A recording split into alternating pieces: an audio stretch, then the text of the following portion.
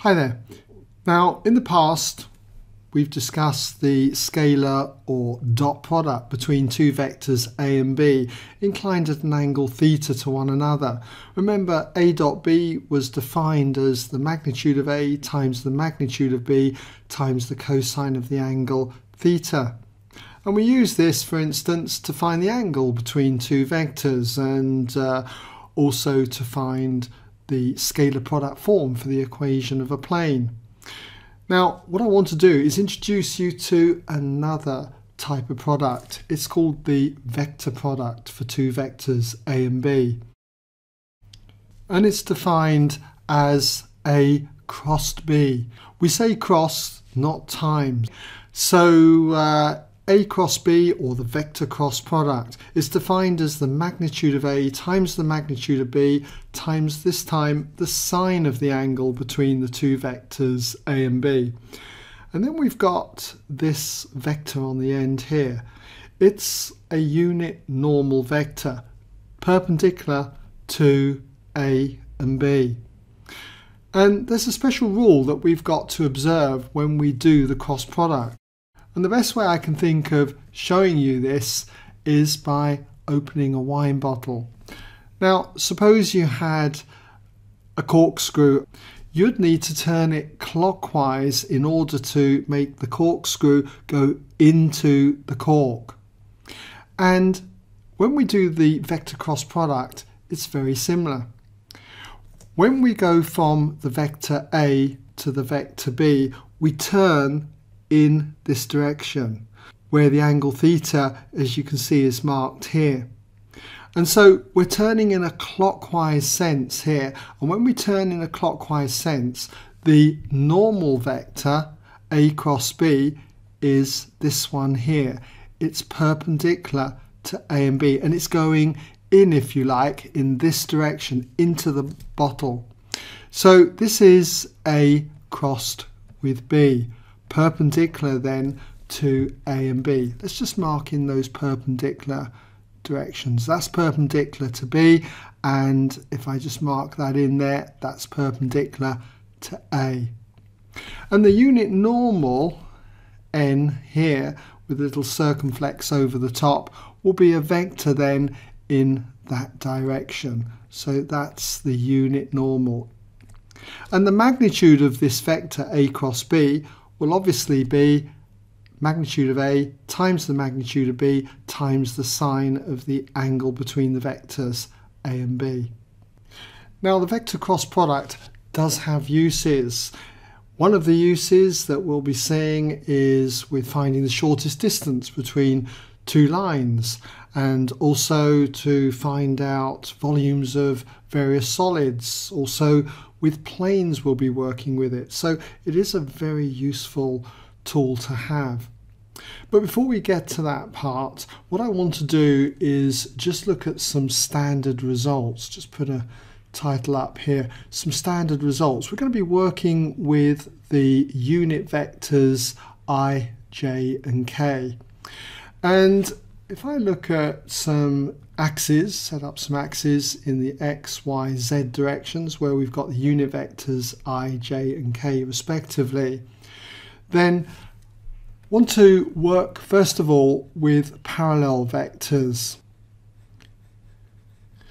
And if I was to do i crossed with i, what result would we get? Well, according to the definition here, i crossed with i is going to be the magnitude of i, which is 1, times the magnitude of the other i, still 1, times the sine of the angle in between the two vectors. Well, that clearly is 0 degrees, so just put that sine of 0 degrees. And we've got a vector which is perpendicular to those two, the unit normal. Well, the sine of 0 is 0, so this is just going to come to 0. So we end up with i crossed with i as being 0. And similarly, we're going to get exactly the same results when we do j crossed with j. It's going to be 0, and the same applies when we do k crossed with k. That too is going to be 0. So, as I say, we're going to be using these results later on. Now the other thing we need to look at is the results that we get when we do perpendicular vectors like i crossed with j and so on. First of all though, I'm going to start with k crossed with i. So if we do k crossed with i, then this is going to be the magnitude of k, which is 1, times the magnitude of i, which is 1, times the sine of the angle between them. And if I look at turning from k to i, like so, in a clockwise sense, then that's going to be the sine of 90 degrees. Then we've got the unit normal vector perpendicular to k and i. But we've got to think about what the sense is, okay? And to do that, think of the corkscrew. And I've got it here. You'll notice that if we're going from K to I in a clockwise sense, we're turning our corkscrew clockwise and it's going to want to move in the J direction. So what we've got then is that normal, that unit normal vector is just going to be J. Now the sine of 90 degrees is 1. So what we end up with is that k crossed with i is just j. Now what happens if we do i crossed with k? Do we get exactly the same answer? Well, I'll just remove this. But this time we're turning from i to k. So our angle is turning in this direction. This will be our theta are 90 degrees. So according to the definition, it's going to be the magnitude of i, which is 1, times the magnitude of k, which is 1, times the sine of the angle between i and k, which will be 90 degrees. And then we need that normal vector, the unit normal. Now we started with i, we're turning clockwise to k. It doesn't look as if we're turning clockwise, but we've got to view this in the, this direction. If I set up a corkscrew, then we've got this situation. We've got to view it in this direction. We're turning clockwise and the corkscrew would want to come in in the opposite sense to J. So what we've got here is going to be minus J. And so sine of 90 is 1, we end up with minus j. So can you see that it is not the same answer? k crossed with i is not commutative with i crossed with k. We get a negative result. k crossed with i is negative i crossed with k. So what about the other perpendicular vectors? What would we get then if we did i crossed with j or J crossed with I. Maybe you might like to pause the video at this stage and just work these ones out. We've also got J crossed with K and K crossed with J. So give you a moment just to think about working those out.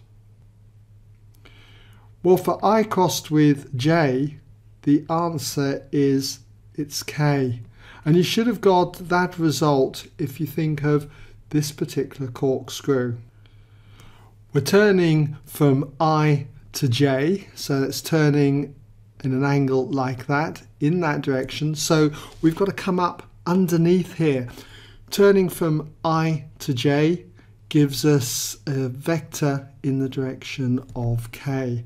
All right, so it's going to equal K and that means that j crossed with i will be in the opposite sense and you'll find you get minus k for that one.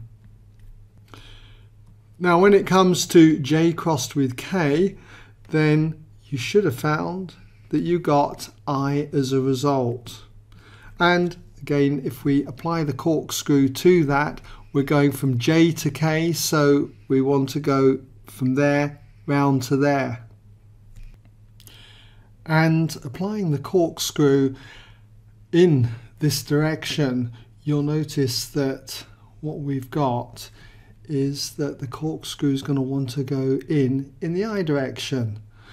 As I say, it looks a bit odd. It looks like I'm turning anti-clockwise here, but do remember you've got to go back round this diagram and look in this direction, okay? So the result is I. As for K cross J, it's going to turn out to be negative I. So I hope that's given you some idea then how we use the vector cross product, its definition, and we should be able to see from these results that it's not commutative, that A cross B is equal to minus B cross A. And also showed you how we applied the corkscrew rule. Okay, when we turn the corkscrew in a clockwise direction, then it's the direction that that would go in is the normal to the two vectors that we are crossing. Now this is the first video using the vector cross product. In the next part I'll explore this further where we look at not just the unit vectors ij's and k's but we're looking at general results for the vectors a and b and I'll show you a quick way that we can cross two vectors.